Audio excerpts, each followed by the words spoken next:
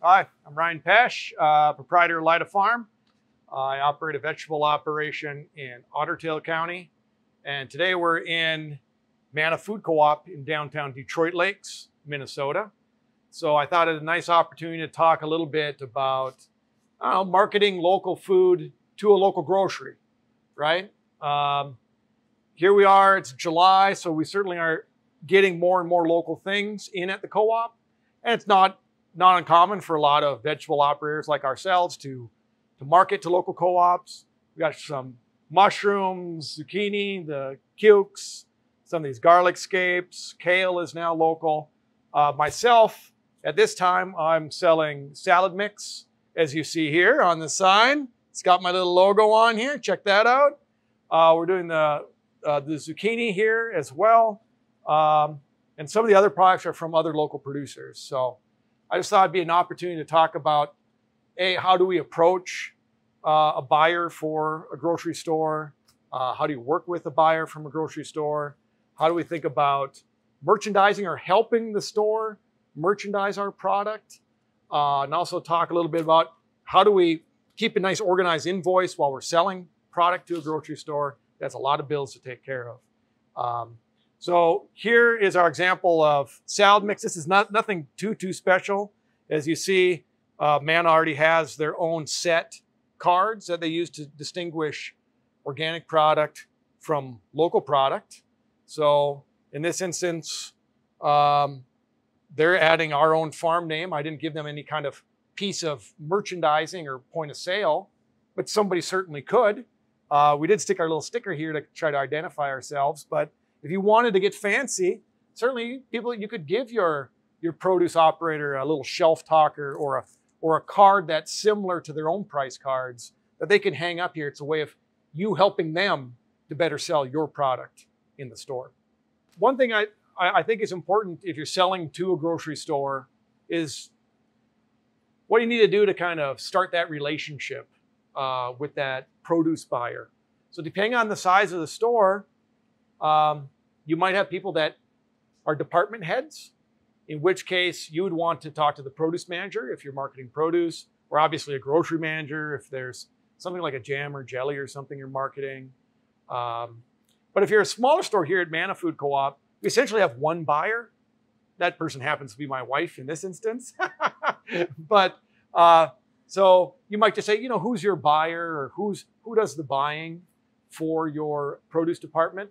That, that, that's a, a very reasonable question to ask of anybody in the store. Uh, they ought to know that. And then after, after, you get a, after you get that connection, it's a matter of, uh, think of it like a sales call. Nothing to be too worried about. It just, uh, you just want to present about what you're intending on selling to the, to the co-op or the grocery store, um, what products you have, you know, a little bit about your operation. You want to just sort of uh, present yourself in the best light. Uh, the greatest interest for a, um, a produce buyer really is consistency. The name of the game in grocery is consistency. They're looking for consistent product, fairly consistent pricing, consistent ordering. That is what you need to emphasize. And, and even before you try to sell to a grocery store, ask yourself if that's really what you want to do. Or can you do that? Are you to the place where you can kind of consistently, on a weekly basis, check in, have good quality product consistently each week? Um, otherwise, it might you might not just not you, you might just not be ready yet. I guess is it is an issue. You might spend a little more time selling at a farmer's market until you feel like you can can consistently bring a product and really build that consistent relationship uh, with a buyer. I do think that if you're selling produce to a store, it's very appropriate to check things out, right? Try to understand, um, get a sense about what types of products that they're carrying in the store. Um, and, you know, like any good co-op or grocery store, typically a full line of product.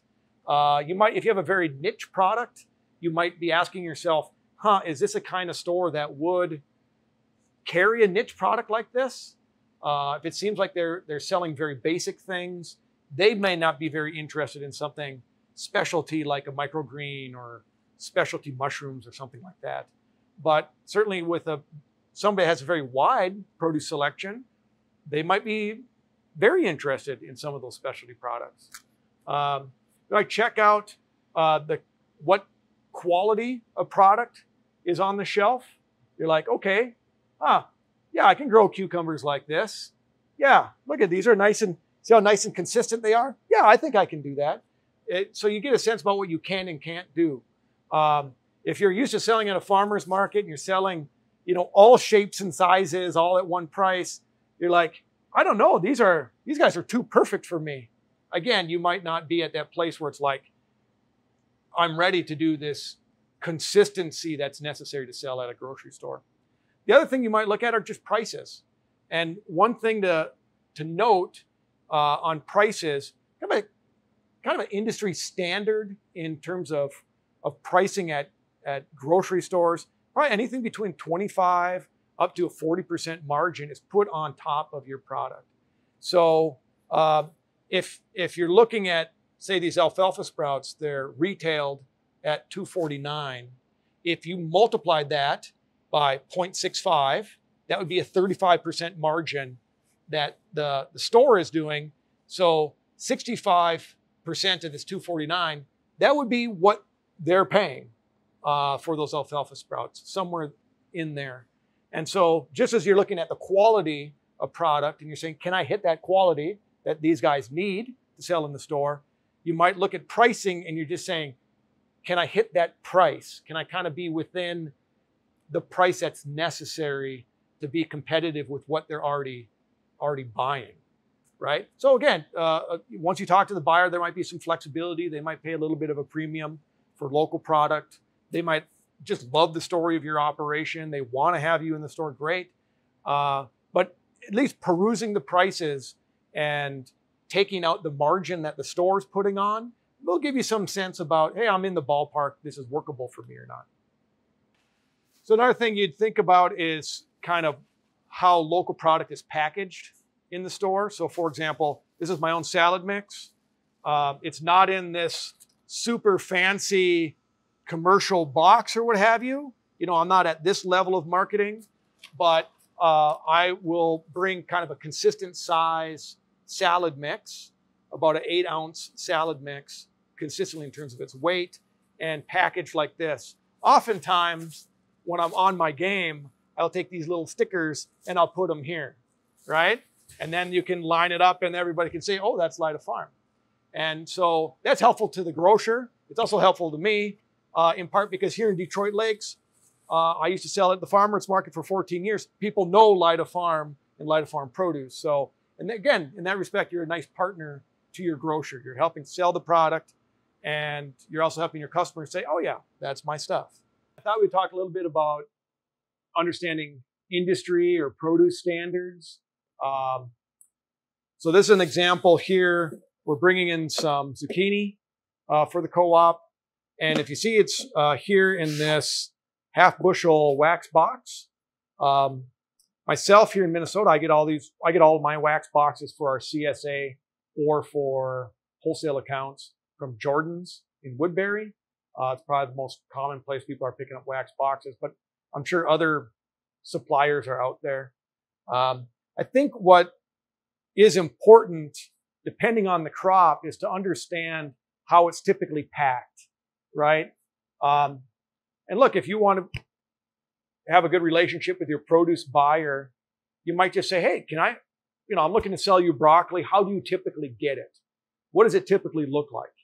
And, and actually a broccoli box is, um, it's a taller box. It's typically a 18 pound case is what it is. Um, zucchini is typically coming in this smaller, like a two layer flat. Um, you'll often see a, a, two layer or one layer in terms of how people are getting tomatoes.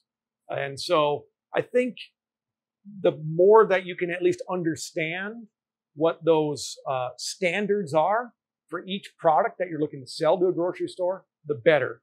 Because when, if you have a produce buyer who's typically, typically buying a 20 pound case of zucchini every time they buy zucchini, and you give them a price for a case you want it to be comparable to what they're typically buying so that they can kind of do that comparison in their head like, oh, yeah, that's totally within the range of what we're normally doing. That's just fine. But if you come in and you you want to sell zucchini and you're totally outside the industry standards and you just bring in just dirty zucchini in some dirty Walmart bag, they're going to be like, what is this? Is this five pounds? Is this eight pounds? And why is it so dirty? Right? I mean, so again, there's an issue of quality that you're looking to hit. Um, if you and there's also the standard in terms of the pack size that you're looking to hit, so it's comparable. And I think in terms of, of quality, again, like here's a zucchini. When I think of oftentimes we're selling bigger zucchini at a farmer's market, right? That's not uncommon. There's actually people that come to farmer's market, they're looking for bigger zucchini. Uh, but I definitely know that an industry standard for zucchini, we're often looking for this, this zucchini that's still in the glossy stage, for example, and about yay, yay long. You know, I don't know, is that a little bigger in my hand or something? Um, and then as best we can to have them as consistent as possible. Yes, it's the pretty produce problem, right?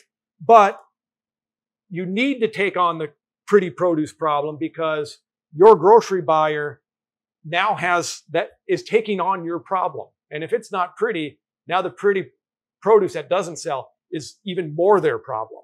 And as we always just say, when I was a greengrocer in the cities, is people eat with their eyes. And there's no doubt that a better looking display at a farmer's market is going to attract somebody and they're going to more readily buy. Uh, you just need to realize as a grower that your produce buyer, they, they don't need that stuff just to look good for three or four hours at one farmer's market. They need that product to look good for three to four days or five days in a refrigerated situation. And so that's part of the reason why greengrocers and produce buyers are as picky as they are, in part because they just don't they just don't have the margin to lose that much product and have that much shrinkage. It needs to be pretty when it's first coming in because it isn't going to be as pretty four and five days from from then, and then they're going to have to get a new lot. So that's kind of the pretty pretty produce problem. I do think well, another important standard when we're bringing in product is to make sure that we have a very clear invoice. So again, sometimes it's like, hey, why do I have to jump through all these hoops to sell you guys product? I get that. But I think the thing to realize for grocery stores is they have hundreds of these things. Um, here in this little tiny co-op, I write all the checks for it. I am writing dozens of checks a week. And it's very common for some of our local producers just to show up with a piece of paper and they're going to write 12, 12 dozen eggs and thank you. And there's no date, there's no total, there's no cost for the unit. Uh, it makes it very difficult, A, for you to get paid, which is, I think, what you want, right? If you want to get paid, a, you want to leave a clear invoice, which has you, who you are. They know me here, so I'm just putting Light Lida Farm and my phone number, uh, who I'm selling it to, the date I'm selling it, and what exactly I'm bringing in terms, and also the price per unit. The reason for this is so that your buyer can accurately price the product and get it on the shelf more easily. They don't have the time to call you and track you down in terms of was that zucchini a dollar eighty a pound or what are you actually charging me? And the person writing the check has no time to chase you down to figure out exactly what you need to get paid. And the reason they need the date is this thing's more likely going into some QuickBooks program and getting into a queue of a whole bunch of bills. And you want to make sure that you get in, in line to get paid. And so it's extremely important to kind of just have a clear invoice and make sure that that is left with the product, right? So one important component about selling to a grocery store is consistent communication. Um, I think, in my experience, having worked in a produce department for three years and having been involved in the management of a grocery store, um, and knowing a number of people that have been involved in grocery, um, if you've got a good product, uh, that's a, the thing that matters most. Uh, but what also matters is some type of weekly check-in, and I think it is just fine whether it is by email or by phone. But what matters is that it's consistent. Um, most grocery people are used to ordering on a consistent day, right? So their main wholesaler, there might be a Monday order for a Thursday delivery or a Tuesday order for a Friday delivery. That's essentially the, the flow of work that grocery folks are used to. And it doesn't matter that you're talking or communicating with your buyer in Tuesday or Thursday and then delivering two days later or three days later. Uh, I think what does matter is that you're kind of consistently checking in. And I think doing so by phone, if that works for your buyer, great. If it's by email, that's fine. By text, maybe. I used to have a restaurant account and he was a big texter. So I would just send him a text about what I had on one day, and then he would let me know the next day what he wanted me to deliver the following day. And so I think the name of the game, uh, as I said, in the world of grocery is consistency. Consistent product, consistent quality, but also consistent communication.